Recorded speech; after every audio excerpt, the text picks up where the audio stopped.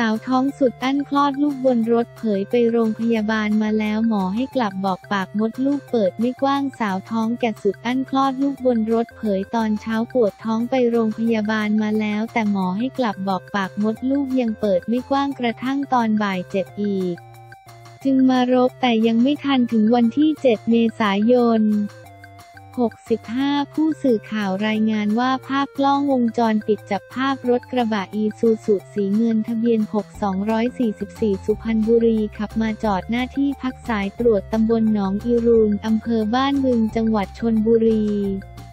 จากนั้นคนขับได้ลงจากรถเข้ามาขอความช่วยเหลือกับเจ้าหน้าที่ตำรวจว่า ภายในรถมีคนท้องได้คลอดเด็กออกมาแล้ว ที่เกิดเหตุพบทางเจ้าหน้าที่กู้ชีพโรงพยาบาลบ้านบึง และอาสากู้ภัยศีลธรรมสมาคมบ้านบึง ได้เข้ามาช่วยเหลือหลังได้รับการประสานจากทางเจ้าหน้าที่ตำรวจสพบ้านบึงได้ตัดสายสะดือทารกทำความสะอาดก่อนห่อหุ้มด้วยผ้าสะอาดส่งให้อยู่ในอ้อมกอดของผู้เป็น ซึ่งพบทารกเป็นเพศหญิงร่างกายสมบูรณ์แข็งแรง จากการสอบถามนางสาวบรรชาอายุ 30 ปี เผยว่าอายุคันครบคลอดในวันที่ 10 เมษายนที่จะถึงนี้เมื่อเช้าสามีได้พาตนไปโรงพยาบาล เพื่อตรวจอาการเนื่องจากปวดท้อง ทางหมอแจ้งให้กลับเพราะว่าปากมดลูกยังเปิดไม่กว้าง จึงกลับบ้านกระทั่งช่วงบ่ายปวดท้องอีกจึงให้สามีพาไปโรงพยาบาลอีกครั้ง โดยมีญาติเป็นคนขับรถให้แต่ยังไม่ทันถึงก็คลอดลูกกลางทางกลัวลูกไม่ปลอดภัย จึงได้แวะขอความช่วยจากทางเจ้าหน้าที่ตำรวจ ด้านผู้เป็นสามีกล่าวว่า ทันทีที่ภรรยาบอกว่ามีอาการปวดท้อง จึงรีบให้ญาติจับรถพามาส่งที่โรงพยาบาลบ้านบึง แต่มาไม่ถึงครึ่งทาง ภรรยาตนได้คลอดลูกบนรถบริเวณบ้านสามแยกบ้านอ่างเวียน จึงตัดสินใจให้น้าชายขับรถเข้ามาขอความช่วยเหลือกับเจ้าหน้าที่ตำรวจ รู้สึกดีใจที่ได้ลูกสาวส่วนท้องนี้เป็นท้องที่สองต่อมานางสาวอรไทยอ่อนมาอายุ 37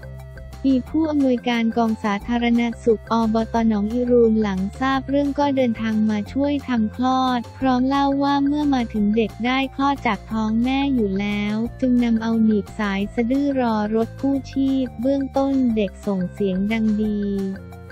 สุขภาพสมบูรณ์เพศหญิงผมดกดำน้ำหนักประมาณ 2,500 กรัม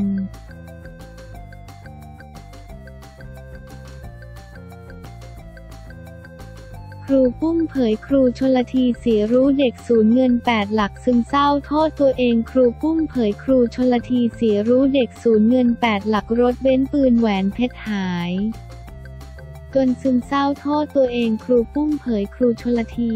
วันคืนรักครูชลทีทานทอง และภรรยา ครูปุ้มสศิวิมลได้กลับมาอยู่ด้วยกันอีกครั้งหลังภรรยาเคยยื่นเรื่องฟ้องหย่าสามีทำเอาแฟนๆต่างสงสัยว่าเกิดอะไรขึ้น ในขณะเดียวกันครูปุ้มก็ได้โพสต์ข้อความผ่านเฟซบุ๊กว่าบัญชีของครูชนละที มีเงินไหลออกเป็นจำนวนมากอีกทั้งรถเบนซ์ปืนแหวนเพชรที่หายไปล่าสุดครูปุ้มได้ให้สัมภาษณ์กับข่าวสดออนไลน์ถึงเรื่องราวดังกล่าวว่า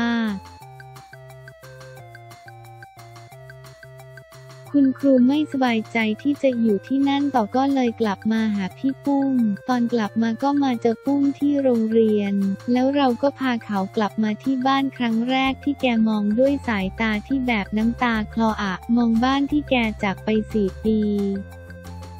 บ้านหลังนี้ครูชนรักมากเขาก็บอกว่าพ่อมานั่งที่นี่พ่อได้ยินเสียงนกเสียงกา แต่พ่ออยู่ที่นั่นพ่อได้ยินเสียงอะไรก็ไม่รู้ปัจจัยไหมวันที่ครูชนละทีกลับมา ปัจจัยไหมจริง ๆ เราทราบข่าวมานานแล้วว่าอะไรที่อยู่ตรงนั้นครูไม่ได้มีความสุขเลย ครูทุกตลอดเพราะพี่เห็นและได้ยินได้ฟังจากคนใกล้ตัว ก็รู้ว่าครูทุกครูไม่สบายใจเลยตัดสินใจมาอยู่กับพี่เหมือนเดิม สภาพจิตใจครูชลทีเป็นอย่างไรบ้าง ถ้าสภาพจิตใจนี่แย่มากเลยสงสารมากทุกวันนี้ก็ยังแย่ยังซึมเศร้าต้องอยู่ใกล้ตัวปุ้งตลอดเวลาเลย แล้วร่างกายก็แย่คือเราก็ตกใจสี่ปีครูเก็บไปเยอะมาก ซึ่งแต่ก่อนแกเดินเหินด้วยตัวเอง ตอนนี้เดินก็จะล้มเราก็ไม่รู้ว่าเป็นอะไรพยายามไปหาหมอคือสภาพร่างกายจิตใจแย่มาก หมอว่าอย่างไรบ้าง ตอนแรกไปนอนโรงพยาบาล 12-15 วันเป็นแผลที่ผิวหนังติดเชื้อรุนแรง เรื่องของการเดินก็เกิดจากกล้ามเนื้ออ่อนแรงค่ะ มีภาวะซึมเศร้า ช่มีภาวะซึมเศร้าคิดเยอะคิดหลายหลายเรื่องโดยเฉพาะเรื่องที่สูญเสียไปสองคือเรื่องที่สังคมโซเชียลรุมกระหน่ำซัมเมอร์เซลตำหนิท่านรุนแรงพอดีเขาเจอทาง YouTube เราก็พยายามบอกไม่ต้องไปอ่าน ไม่ต้องไปดูก็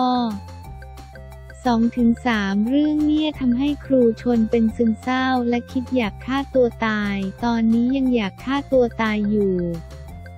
ยังคิดเยอะคือ 4 ปีเราก็ไม่รู้ว่าครูเจออะไรมาบ้าง เพราะเราก็ไม่ได้อยู่กับครูตลอด คิดว่าครูคงเจออะไรมาเยอะทั้งซึมเศร้าไม่ร่าเริง แต่ก่อนเขาจะคุยตลกตอนนี้คือถามคำตอบคำแล้วก็กินนอน เขาตัดพ้อถึงสิ่งที่สูญเสียไปไหม ตักพ้อหมายก็นี่แหละ คือครูยอมรับนะครูผิดเองอย่าไปโทษใครเลยครูเชื่อใจคนครูไว้ใจคนถ้าเกิดครูเข้มแข็งครูไม่ไว้ใจครูไม่ให้รหัสบัตร ATM ใครเหตุการณ์แบบนี้คงไม่เกิดขึ้น แต่ครูก็พูดตลอดว่าผมผิดเอง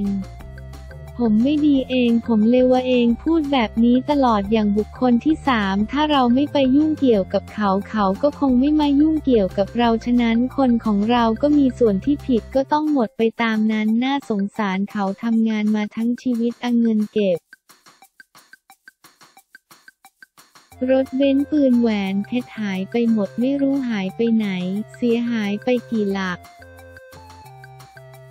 อย่าว่าแต่เจ็ดหลักเลยน่าจะแปดหลักยิ้มอ่อน ตอนนี้บอกอะไรไม่ได้เลย แต่เบื้องต้นก็ดูแลครูชนก่อนพยายามเดินทางด้านกฎหมายศึกษาหลาย ๆ เรื่อง แต่ก็ทำให้ดีที่สุดพยายามจะไม่ให้ขึ้นศาลก็พยายามบอกผู้ที่เอาไปพูดกับเขาดีๆ ว่าช่วยครูเถอะครูจะได้เก็บไว้รักษาตัวยามแก่ เพราะตอนนี้ครูป่วยครูต้องใช้ตังทรัพย์สินอะไรหายไปบ้าง